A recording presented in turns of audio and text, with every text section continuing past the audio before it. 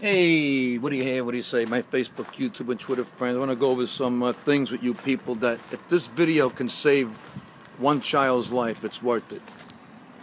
I go through this every year, even though we have another month and a half left of the school year. Still got to be reminded for you idiots out there that don't know the rules. Okay, this is particularly Staten Island and New York because everybody in Staten Island seems is from the cast of Mob Wives.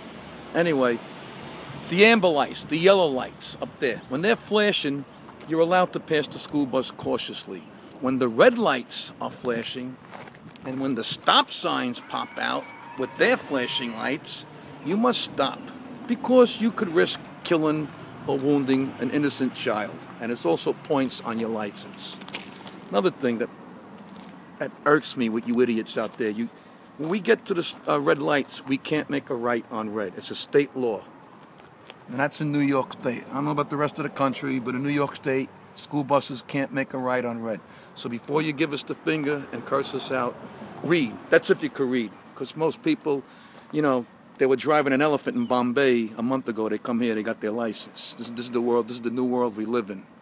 Another thing that irks me, when if there's a narrow two-way street and you see a school bus coming up and you can't fit, pull over. Let the school buses have right of way. We're transporting children.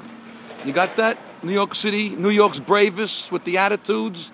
Okay? Kids come before garbage. Actually, some of my kids are garbage, but still, that's the rule.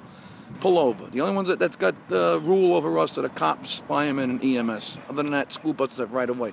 Another thing that pisses me off when you get to the corner and you see those signs on the side of the road that say stop here and there's a white line, there's a reason for that because when a school bus makes a white turn, we can't make the turn because you didn't care or didn't know how to read the sign.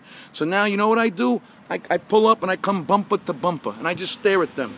I'm getting the finger, I'm getting cursed out because I'm following the law. So I, I put it in park, I read a newspaper. After they do their song and their dance, ah, ah, ah, I just stay there till they eventually figure it out. They back up.